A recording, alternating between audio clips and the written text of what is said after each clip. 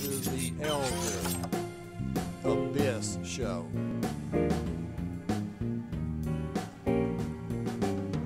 For talking videos. Hey guys, welcome to the show. In this episode, we've got a little bit of Battlefield 3 on this brand new, although at the time of this, it's been out a couple of days, Karkand expansion pack. And I thought, well, why not bring you actually Kirk Canned as I uh, land my initial thoughts and impersonation or impressions. Why do I always get that word mixed up? I'm not quite sure, but I seem to do it a lot. so we've got Karkand here. Now, as you guys, particularly the fellas that have been with me for quite a while and following my battlefield antics from the beginning, well, you're aware that I am, in, indeed, into the bone, a conquest player. Don't get into rush all that much. Don't, uh, you know, the squad, the team death matches, the team death matches, and all that. Uh, don't get into that all that much. I am, I'm a conquest player. That's, that's what I enjoy. That is, that's where I reside on the battlefield for most of my time. So, conquest on the Karkand. The four maps, of course. Uh, four new maps, which is great. Love new maps. You can't hardly ever go wrong with new maps. It can be done, but you have to really work to screw up new maps on a game. But, that being said, conquest on these new maps is completely different than conquest that you, well, I mean, the core of the game. Uh, comparing it to that type of conquest model where both teams start and little Abus is proceeding to yell in the other room. But both teams start with no flags taken at a, you know separate independent bases and you run in and try to capture what you can and and go from there. Now, this conquest assault, which most of these new maps are are running, is basically one team starts with all the flags and the other team starts with a couple of bases and a few more tickets. Not an extraordinary amount of tickets. I don't think.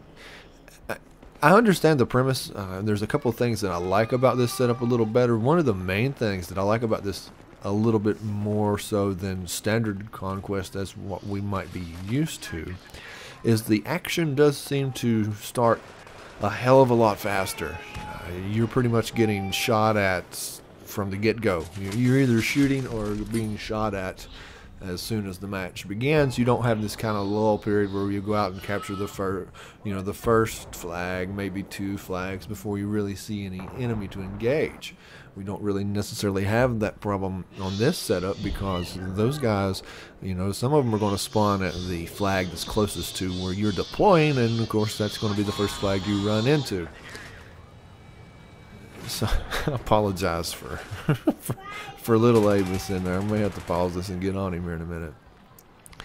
But that being said, so as you can, you know, like I said, that being said, you can see how it works out so that you are running into the enemy a lot quicker, a lot quicker. But uh, this map, for instance, I mean, you've got five flags, man, five flags. Okay, so you're going to have to hold at least three to stop your ticket bleed.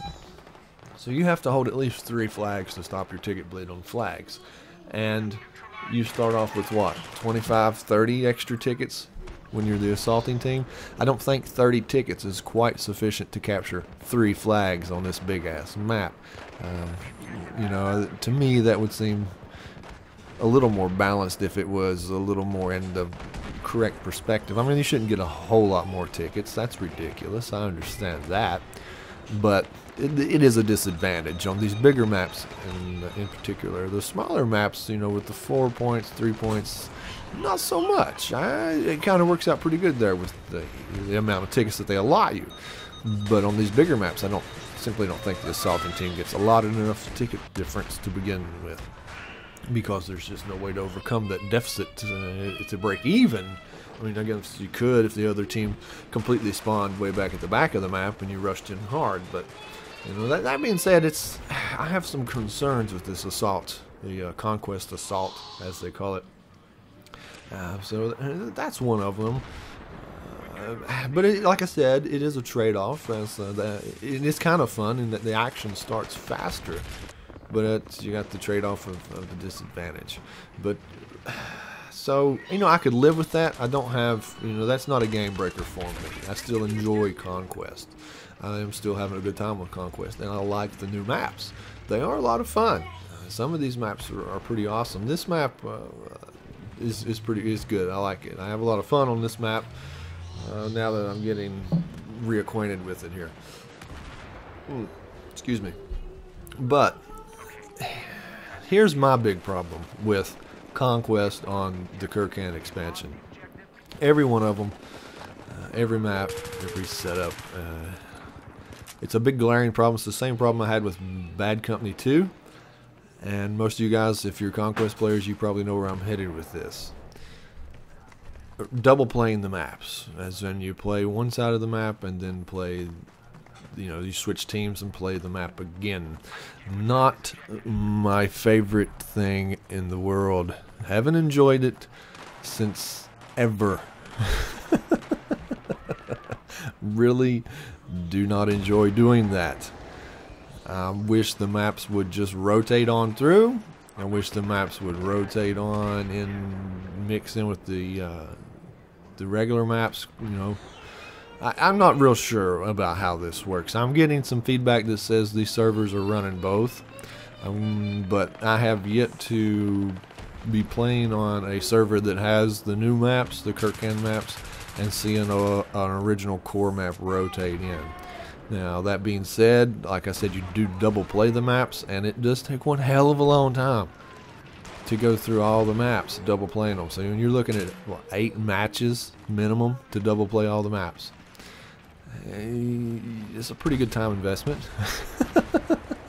Maybe I'm not hanging around long enough. I don't know. But it doesn't seem, from my point of view, that it does that. Although I am getting some reliable reports and uh, some feedback saying that it in fact does happen on some servers. So maybe I just need to check my playlist. So I, am kind of curious. I need to look into that a little more. Uh, I hope I hope that it does. I really do hope that it does, as that's an interchangeable uh, on the maps and with this and and, uh, and the core. And, but like I said, my biggest biggest beef by far is double playing the maps. I really didn't enjoy it on Battlefield on Bad Company. I really don't enjoy it on this Karkand. Now I can understand their you know their their logic in trying to do that or their logic in doing it you know trying to it they pulled it off their logic in doing it particularly with the assault conquest and that you know one team has all the checkpoints, and the other team is pushing in to take them and win the map. I, I can see where you would be inclined to switch guys back and forth, but why, really? You know, to me, no, don't do that. Don't do that. I'm so sick of that, man. Look, one team has all the flags, the other team has extra tickets. Leave it at that, man. Leave it at that. I mean, it, I'm not worried about it. I'm not worried about which team I'm on. It doesn't make a difference to me. Now, that being said, I do really like, there's at least one of the maps, and I can't remember the name of it, that has a four, four capture points, four flags, and it starts off a little different in that each team has a base and two flags. Why, why can't they do that? You know, if they want to get the action rolling quicker, that seems like a better solution to me than this assault, conquest assault stuff. Not a big fan of that, but I do uh, I do not mind the uh, you know, two flags, two flags, and a base for each team and, and fire it off. That seems like a lot better solution.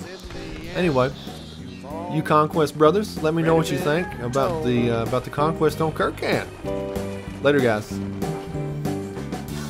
We're all just gamers.